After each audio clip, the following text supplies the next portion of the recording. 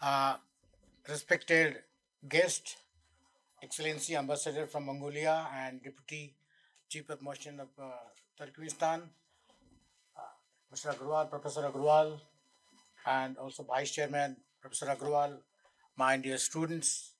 It's indeed a great pleasure and honor for me uh, to sort of share my thoughts and ideas on a very important topic. Uh, to be fair enough, I'm not a scholar on Central Asia.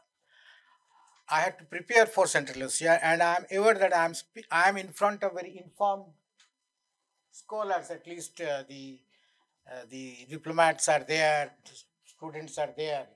But I made a sort of special efforts to study the region and India's stake there. And uh, I have with me also another colleague, uh, Mr. Pa from PTI, Mr. Bhuya. He will also speak, so I won't take much time. Uh, I really appreciate that, you know, it's a very thoughtful topic that the uh, institution decided that we must discuss and deliberate on a very important topic. Normally, when we discuss foreign policy, we discuss about Indo-India, US relations, India-Russia relations, or India's Act East policy, Look East policy, those kind of. But very seldom we discuss about Central Asia, very important region. Uh, very important region. Uh, I think many of you may not be also knowing if I will ask you what is the capital of Kazakhstan, I think very people will be able to tell. Similarly, if I ask you what is the capital of Kyrgyzstan, maybe you not be able to tell. Anyway, before I discuss about the topic, how you know these these five countries namely Kazakhstan, Kyrgyzstan, Uzbekistan, Tajikistan and Turkmenistan, they are younger nations. You remember when Soviet Union got disintegrated, that was in 1991 after Gorbachev's policy of perestroika. You remember perestroika, glasnost, those kind of things. You may recall them. So then Soviet Union was sort of, there was implosion, you can say, you call it disintegration or implosion, whatever you may call, whatever you choose. But anyway, these countries emerged out of that disintegration. So these countries are relatively young.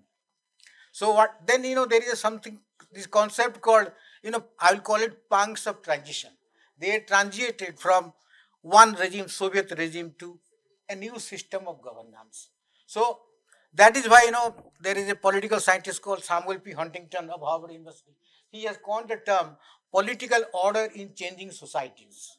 Once the nations were born, how do they cope up with new realities, new dynamics? So that was the challenge. So how to institution building in those countries, how to ensure stability.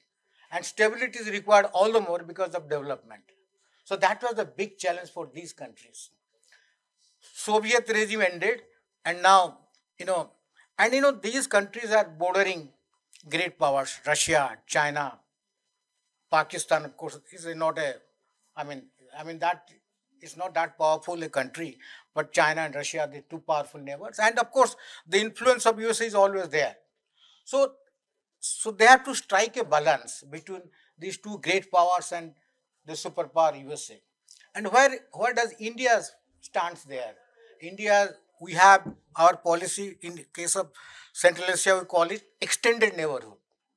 We have fast neighborhood policy, Act policy. Now it is equally important. Our extended neighborhood policy is equally important, very important.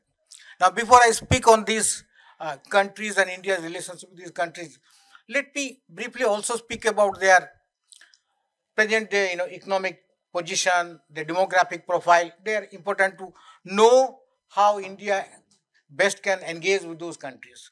Now, their GDP of the Central Asian countries taken together is 0.3 and they occupy, I think, about 1.1% of the population, the world population. But the important fact is that the demography, mostly the average age of the Central Asian population is 28 point something. So we have a younger generation population there in Central Asian country. That is very important to understand the region and India's engagement with these countries. And most of these younger generation people, they didn't live under the Soviet regime. So they are used to a different kind of a political culture. New, I mean, they are not used to Russian regime. So different kind of culture. And being, since we are all students of business here, and being younger, you know, they have aspirations. Like, you know, for example, when you talk about, of course, we'll discuss later about India, China's, what are the opportunities and challenges for uh, India in South uh, Asian countries. Being, you know, India is, has emerged one of the leading exporter of the smartphones. And now, they, when, when you have younger generation population in these countries, perhaps one item perhaps could be how best we can export, you know, these smartphones to the, the Central Asian countries. Automobile, you know, there is a demand for that, but then because of distance, that's not possible. The Chinese cars and other cars or Russian cars will be available there. But one, to me, as a layman, I understand. Perhaps, you know, these kind of, you know, smartphones can be one of export item. Of course, we'll discuss in greater length later. India, as rightly pointed out in the opening remark, we had a historical, uh, cultural link with the region.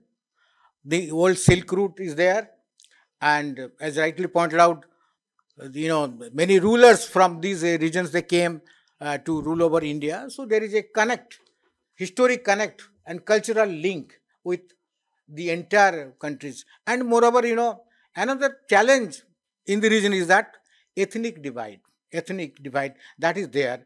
And of course, you know, I'm happy to say that unlike many parts of the country, Central Asian countries have been able to hold together, hold together, and in spite of you know this kind of a what we call um, ethnic divide, by and large there have been some aberration here and there, but by and large they have been able to maintain the unity and integrity of the territorial unity and integrity of the countries as a whole.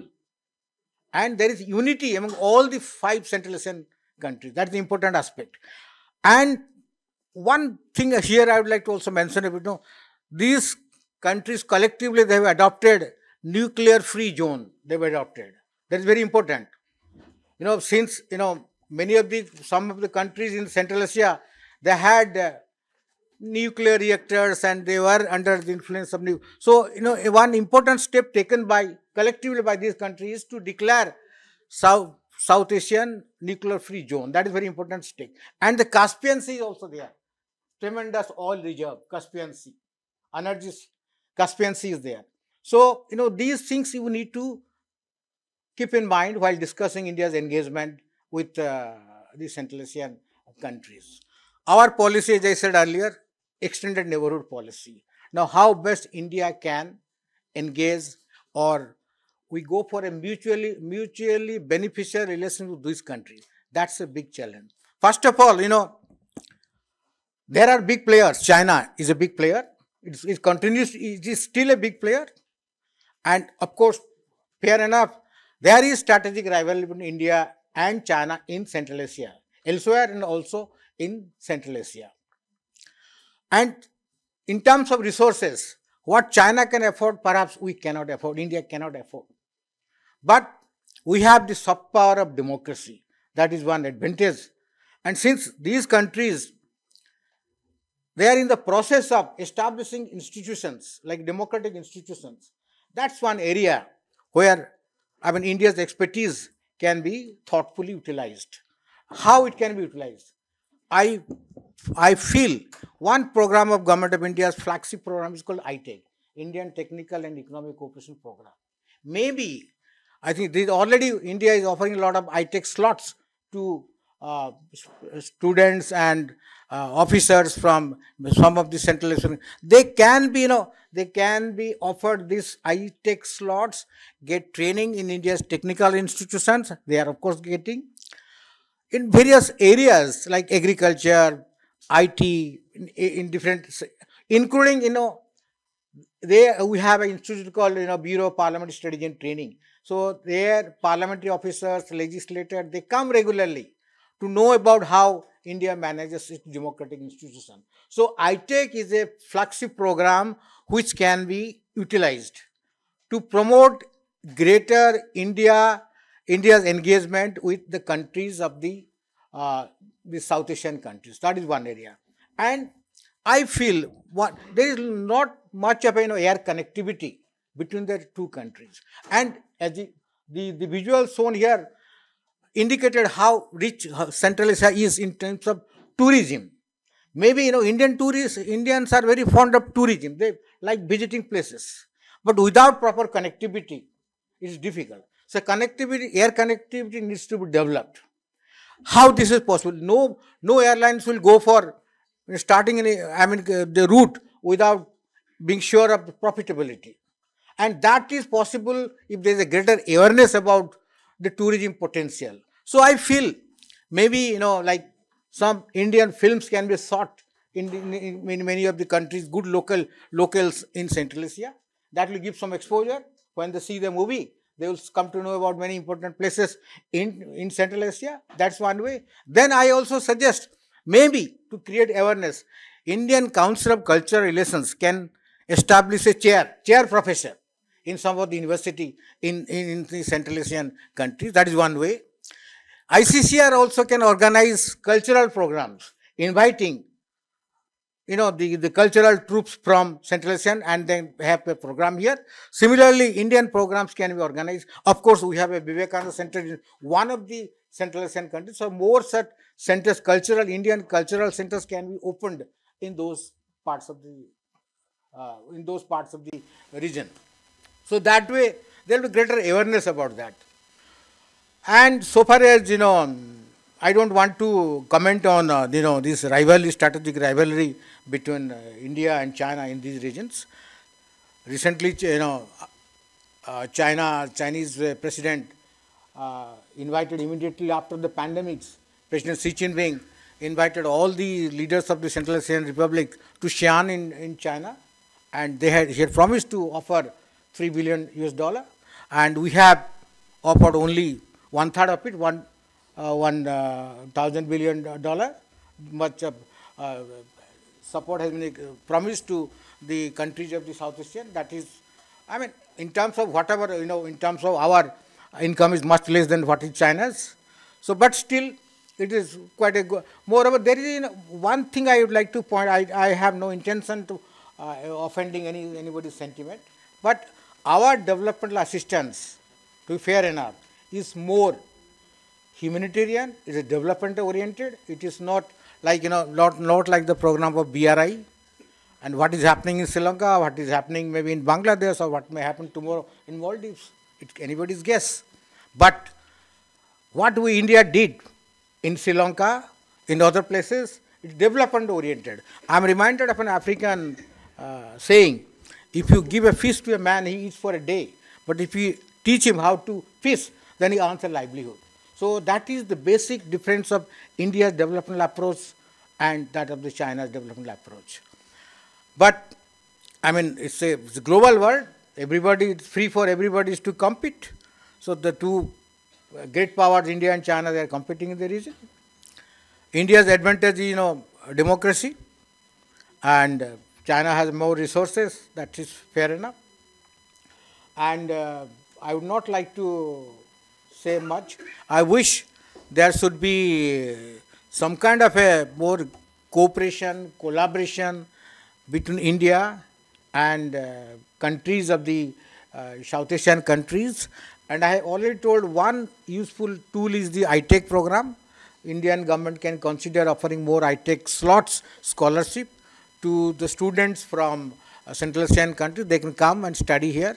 And similarly, tourism, India, more Indian tourists should visit those countries and that tourism can be promoted if there is, you know, uh, like as I suggested, maybe Indian films are shot in, in South Asia, uh, Central Asian countries and then there is some cultural programs are organized by in Indian Council of Cultural Relations and some Indian chairs are established in, in universities.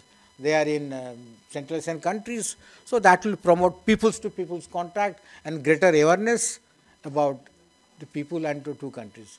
I have another distinguished colleague, uh, Mr. Bhuya, he will also speak and I will be, I think students will be eagerly also look forward to hear from Ambassador of Mongolia and Deputy Chief of the Kyrgyzstan, he will also share. I think if I have I mean, he can, if he has, he can perhaps supplement what we we discussed here. And I look forward, I would look forward to hear them also. Thank you very much.